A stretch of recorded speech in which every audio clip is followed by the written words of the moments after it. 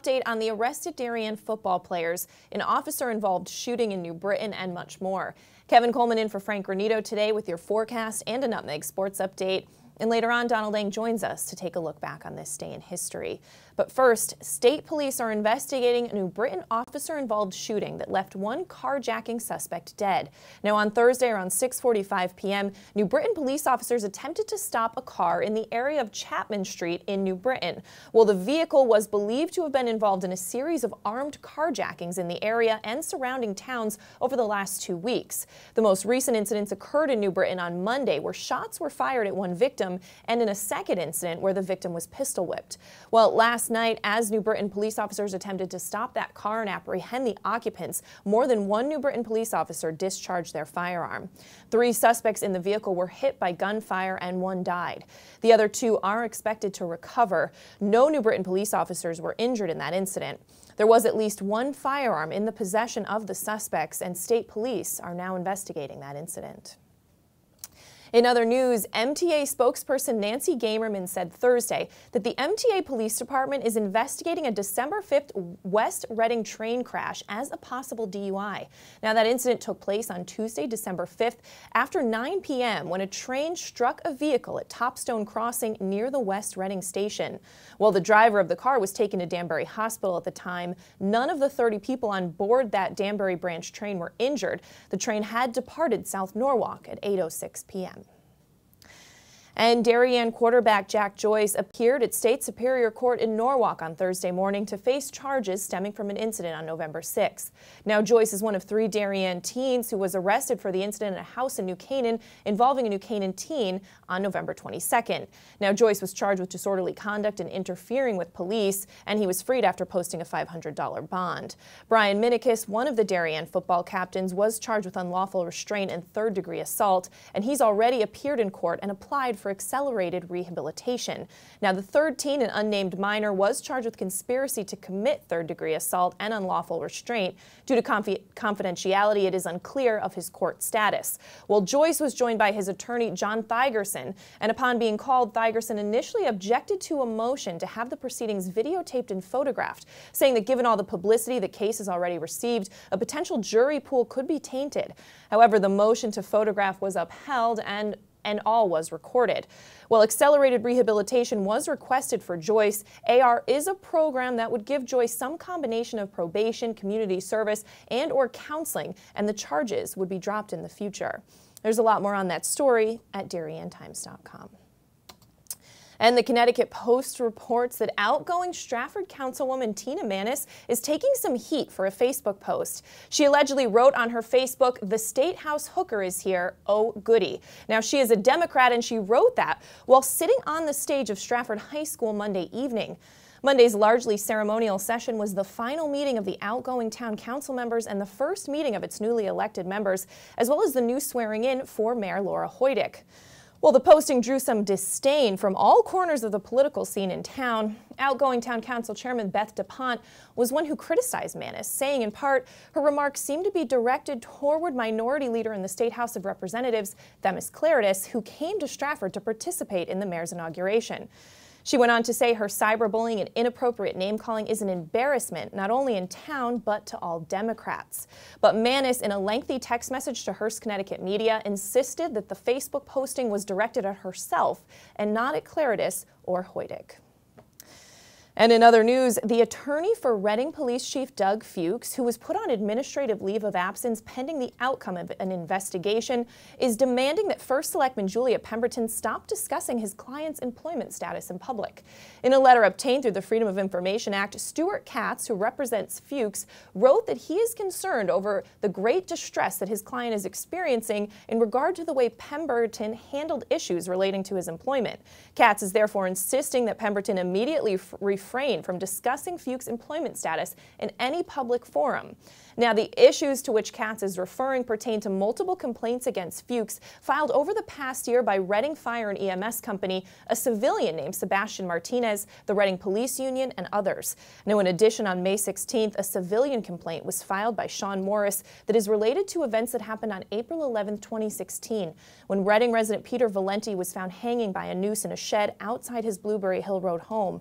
Valenti's body was initially mistaken for a dummy by the first police officer who found it. Then, according to the complaint, Fuchs refused to allow emergency medical technician to check on Valenti, saying that he was already dead.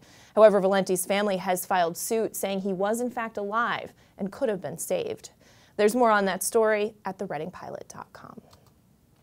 And Stratford residents upset with the Stratford Board of Education's plan to lay off more than 40 teachers have created a petition asking district officials to reconsider their decision. The petition created on change.org by Patricia Clark Sperling and others indicates dissatisfaction with Superintendent Janet Robinson and Chief Operating Officer Clarence Zachary. Robinson announced on Tuesday her plan to lay off teachers in the second semester of the 2017-18 school year.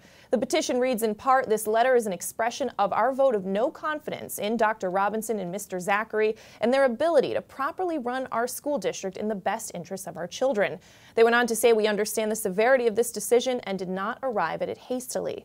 The petition calls for no layoffs to take place and for the Board of Education to go forward with a forensic audit to examine the district's finances. More on that story at StratfordStar.com. And in some lighter news, HAN's New Canaan Advertiser has been reporting for a while about some parking issues in town, and editor Greg Riley captured quite the unique parking job near the train station recently. Take a look. This car was found driverless and stuck with its front wheels off of the ground early Tuesday evening behind the First County Bank on Park Street in a lot adjacent to the train tracks. Now, perhaps it belonged to a commuter who was in a hurry or available spaces were in short supply. We're just not sure. All right, well, taking a turn now, going to throw it over to Kevin Coleman for a look at your forecast. Kevin. Thank you, Kate. Just when you thought we didn't have enough snow, we got some more snow coming into the forecast this afternoon. Cloudy with some snow showers developing throughout the afternoon. One to three inches are expected, so please take that in mind when you're taking your commute home this Friday evening. A high of 29 today. We look towards tonight. Cloudy early, becoming mostly clear after midnight. A low of 24 tonight. Now tomorrow, Saturday, sunny with some partly cloudy skies throughout the afternoon, a high of 35. And on Sunday, we wrap up the weekend with partly cloudy skies and a high of 33. That'll do it for your weather update. Kate, back to you. All right. Thanks so much, Kevin. We're going to step out for a break. When we come back, Donald Ang will take a look back on this day in history. Kevin has your Nutmeg Sports Update, and we have more local news after this.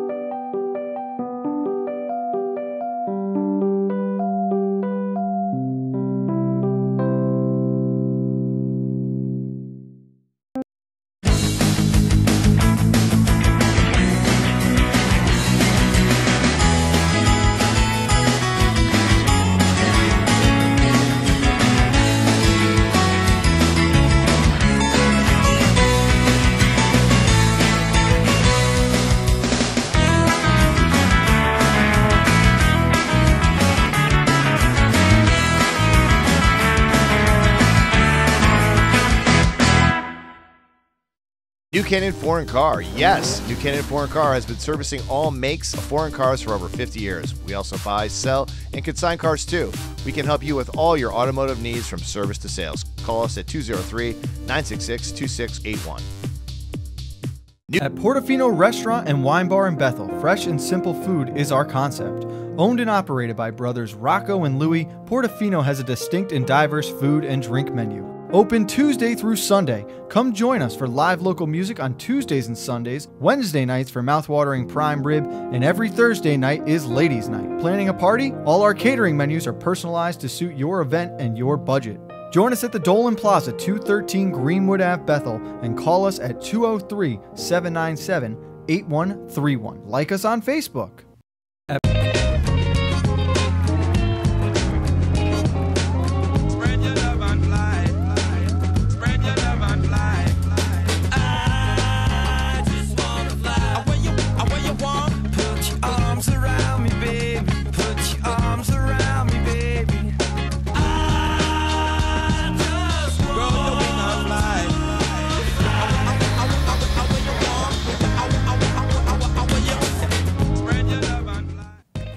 Welcome back to this December 15th edition of your coffee break on the HAN network. Time to throw it over to Donald Eng to get a look back on this date in history. Don. Well, Kate, it's a pretty big day in U.S. constitutional history. Uh, starting in 1791 on this date, Virginia becomes the last state to ratify the Bill of Rights, making the first 10 amendments of the Constitution the law and completing the reforms begun by the Declaration of Independence. Um, before the Massachusetts Ratifying Convention would accept the Constitution, which they finally did in 1788, the Constitution's Federalist supporters promised to create a Bill of Rights to amend the Constitution immediately upon creating a new government, and they actually followed through with that promise. So that's uh, that was a good thing there.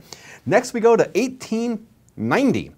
Uh, Sioux Chief and Holy Man Sitting Bull killed by Indian police at the Standing Rock Reservation in South Dakota. Now, after the Battle of the Little Bighorn, Sitting Bull had led his people into Canada for four years before hunger forced them to surrender back in the United States. Uh, he retained much of his influence, though, and when Indian police tried to arrest him, his warriors resisted Sitting Bull. Eleven others were killed. His death effectively ended the Indian Wars on the Great Plains. 1961 now, uh, Adolf Eichmann, the uh, SS officer who had organized essentially the uh, Adolf Hitler's final solution, is condemned to death by an Israeli war crimes tribunal. Now, Eichmann had escaped the Nuremberg proceedings and was living in Argentina when Mossad agents grabbed him off the street and smuggled him out of the country, posing him as uh, an Israeli airlines uh, attendant who had been injured. His defense for overseeing the murder of an estimated 6 million people? Just following orders.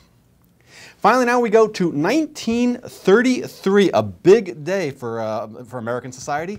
Look at this. All along, that when this matter was properly submitted to the rank and file of our people, they would readily see that it had no place in our Constitution. It would be very difficult, if not impossible, to estimate the benefit that will come to this country from the lesson taught to the coming generations to make it their business to see that no such matter as this is ever again made the subject of federal constitutional law. Yeah, that was New York Governor Al Smith talking about the 21st Amendment to the Constitution that became effective on this date in 1933. The 21st Amendment repealed the 18th Amendment, which was prohibition. The amendment, though, did not ban states from enacting their own liquor controls, which is why having a beer was illegal in Mississippi until 1966, and you couldn't have a drink in a restaurant or bar or anything like that in Kansas until 1987. Believe it or not, Kansas State Police routinely raided interstate Amtrak trains because they have bar cars. Locally, Bridgewater, Connecticut, the last dry town in the state, legalizing the sale and consumption of alcohol in 2014. That is your look back in history for today, December 15th, and I'm Donald Eng. All right, thanks so much, Don. Well, in other local news, the Milford Police Department is investigating several auto thefts and car break-ins in Milford and are looking for help identifying the suspects. Now, security video images were captured when the suspects used stolen credit cards taken from a car in Milford. The cards were used at Champ Sports at the Connecticut Post Mall and at a Gulf gas station in New Haven. Now, police said the suspects were using a small gray four-door sedan with a sunroof when they used that stolen credit card at a New Haven McDonald's at about 2.30 a.m. December 8th. Anyone with information on the identity of the suspects is asked to contact detectives at 203 783 4765. And health, school, health, and school officials in Woodbridge are warning students and staff at Amity Regional High School that they may have been exposed to the mumps. Now, WTNH reports that the superintendent of schools sent out a letter to Amity parents and staff on Thursday informing them that, according to the health department, there may have been exposure to a case of the mumps during the week of December 4th. Now, mumps is an acute viral disease that is transmitted through direct contact with respiratory droplets spread by coughing, sneezing, or through saliva. The disease can, however, be prevented by immunization. Symptoms of the mumps are usually headache, body aches, fever, and swollen and tender glands in the jaw. And in other news, in Ridgefield, a horse ordinance extending town regulation of horses and a variety of other hooved animals, including ponies, pigs, goats, cattle, donkeys, and more, even camels, was approved by the town meeting that nearly filled the 160-seat capacity of the library's program room on Wednesday night. Now, the motion was approved on a standing vote that meeting moderator Ed Tyrell judged to be two to one in favor of the regulation. Well, the ordinance to regulate the keeping of livestock on small lots in high density residential areas governs many aspects of keeping horses and other livestock, including fencing, storage, sanitation, and run in sheds. Well, the new regulation applies only to lots of less than half an acre in size, and First Selectman Rudy Marconi noted Wednesday night contains a grandfather clause exempting properties that have livestock now. Well, much of the evening's debate concerned whether smaller animals other than horses, like goats, little pet pigs, and the like, should be exempted. But Tyrell said an amendment to limit the ordinance to horses was too great a change from how the meeting had been advertised. There's a lot more on that story at theridgefieldpress.com. And Rabbi Levi Stone of the Schneerson Center came to Wilton December 13th to light the menorah on the town green to celebrate Hanukkah. Now, taking part were First Selectman Lynn Vanderslice, State Representative Gail Lavielle, and members of the Wilton community who sang, danced, and celebrated despite freezing temperatures. Well, tonight is the fourth night of the Festival of Lights, and we at HAN, of course, wish all those who celebrate a happy Hanukkah. And great photos there by Brian Haeffele. All right, we're going to throw it back over to Kevin Coleman for your Nutmeg Sports Update. Kevin.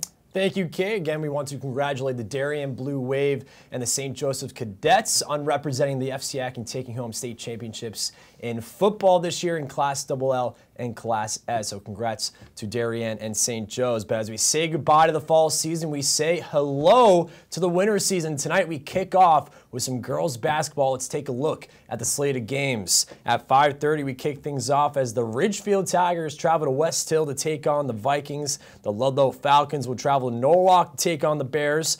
Brien McMahon travels to Warde to take on the Mustangs at 5.30. Trumbull will travel to Bridgeport Central. New Canaan will be at Staples at 7 p.m. Darien will take on St. Joe's at 7 p.m. And the biggest game tonight is Stamford at Wilton, two teams who expect to finish in the top three this year in girls basketball. And finally, girls hockey as well will kick off tonight with, with two FCIAC games. Stamford will take on Ridgefield at 345 and Wilton will be at Trumbull at 5 30. That will do it for your Nutmeg Sports Update. Kate, back to you. All right, thanks so much, Kevin. We're going to step out for a break. When we come back, we're going to recap some of the top stories we're following after this.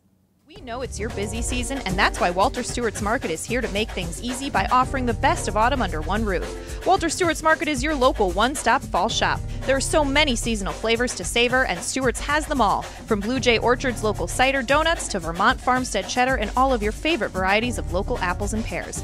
Walter Stewart's Market, 229 Elm Street, New Canaan, and find us at stewartsmarket.com. We Want a new experience in car buying? No aggravation, no confrontation, just answers to all your questions. Scap Chrysler Dodge Jeep Ram. Car buying the way you want it to be. With one of the largest selections of new two and four door Jeep Wranglers available, we are Connecticut's Wrangler headquarters. Located in Fairfield, Connecticut, we're easy to get to. Just two and a half miles off the Merritt Parkway, exit 44 via Route 58 South.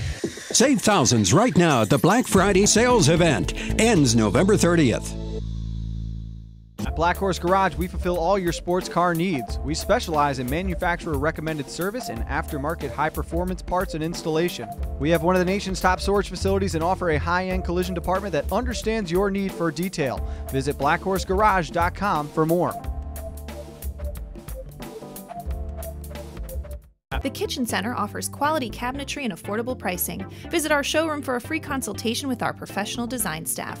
For all your other home improvement needs, visit Northeast Building Supply, our full service lumberyard and window showroom. The Kitchen Center, a division of Northeast Building Supply, 1470 Barnum Avenue, Bridgeport. Dr. Stephen Molinaro and Peter Healy of Family Practice Dentistry and Laser Dental Care have served Ridgefield for over 22 years. Experienced staff offer gentle drillless techniques, preventative care, and cosmetic procedures in a relaxed environment. Grateful for the community's trust and support through the years, new patients and their families are welcome. Call today.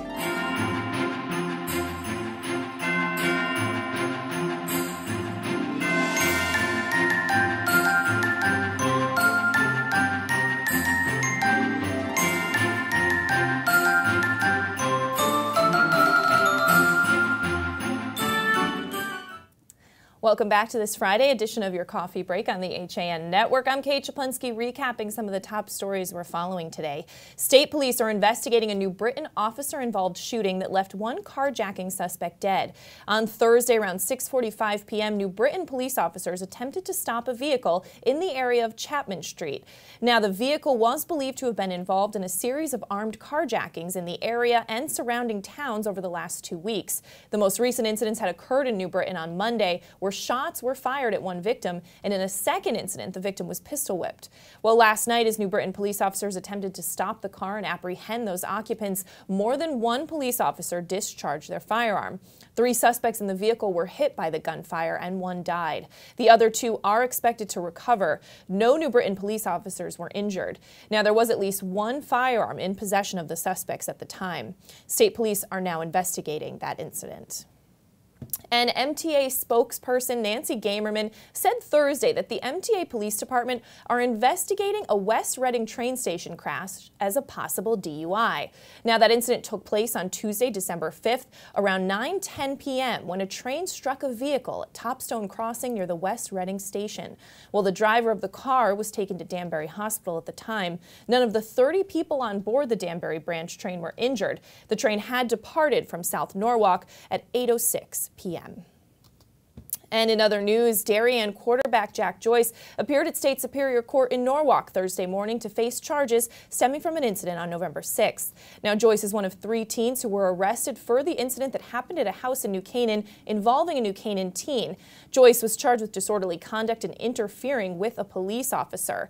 Brian Minikis, one of the Darien football team captains, was charged with unlawful restraint and third degree assault, and he's already appeared in court and has applied for accelerated rehabilitation. Well, the third an unnamed minor, was charged with conspiracy to commit third degree assault and unlawful restraint, but due to confidentiality, his court status is unclear. Well, Joyce was joined by his attorney, John Thigerson, and upon being called, Thigerson initially objected to a motion to have the proceedings videotaped and photographed, saying that given all the publicity that the case has already received, a potential jury pool could be tainted. However, the motion to photograph was upheld and all was recorded. Accelerated rehab was requested for Joyce. Now, AR is a program that would give Joyce some combination of probation, community service, and or counseling, and then the charges would be dropped in the future. There's more on that story at DarienTimes.com. And the Connecticut Post reports that outgoing Stratford councilwoman Tina Manis is taking some heat for a Facebook post. She reportedly posted on her Facebook, the State House hooker is here, oh goody. Now Manis, a Democrat, posted that while sitting on the stage of Stratford High School Monday evening. Monday's largely ceremonial session was the final meeting of outgoing town council members and the first meeting of its newly elected members, as well as a swearing in of Mayor Laura Hoydick. Now, the posting drew disdain from all corners of the political scene in town. Outgoing Council Chairman Beth Daponte was one who criticized Manis, saying in part her remarks seemed to be directed toward Minority Leader of the State House of Representatives, Themis Klarides, who came to Stratford to participate in the mayor's inauguration. Now, she went on to say her cyberbullying and inappropriate name calling is an embarrassment not only to the town, but to all Democrats. However, Manis, in a lengthy text message to Hearst, Connecticut media, has insisted that the Facebook posting was directed at herself and not at Klarides or Hoydick. All right, taking a turn now, going to get one final look at your forecast with Kevin Coleman. Kevin. Thank you, Kate. Cloudy today, but we have some snow showers in the mix this afternoon, which could cause some some trouble here on your commute home tonight. One to three inches are expected, a high of 29. And tonight, things won't get clear until around midnight. There'll be a low of 24. Tomorrow, sunny despite a few afternoon clouds, a high of 35. And Sunday, we wrap up the weekend with partly cloudy skies and a high of 33. That'll do it for your weather update. Kate, back to you. All right, thanks so much, Kevin. We are going to wrap things up here on your coffee break. Wishing everyone a great weekend, and we'll see you Monday at 11 with the latest local news and more. Enjoy.